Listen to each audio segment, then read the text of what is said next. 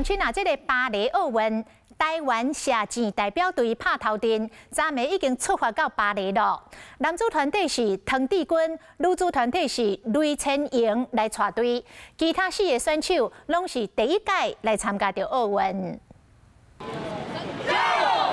对出发进前做回加油，台湾射箭队拍头阵出战巴黎奥运。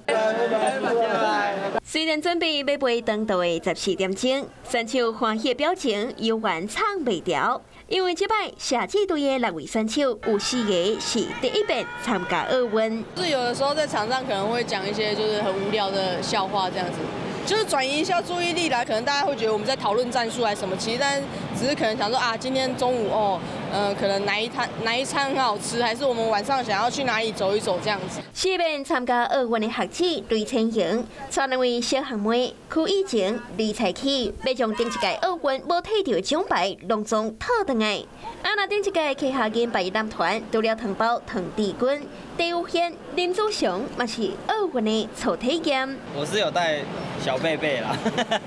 睡觉的小贝贝。翔哥就是我们的新鹦鹉，因为在比赛的当中，有一天是他的生日这样子，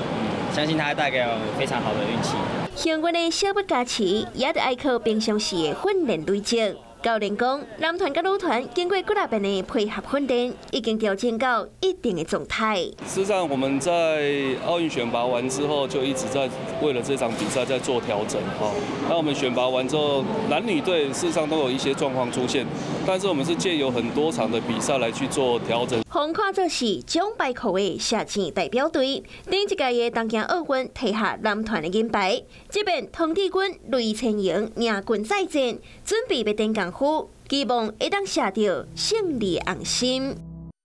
Hello，我是李明瑞，想要抢先掌握最及时的新闻资讯吗？赶快订阅、按赞、开启小铃铛，锁定我们华视新闻的 YouTube 频道。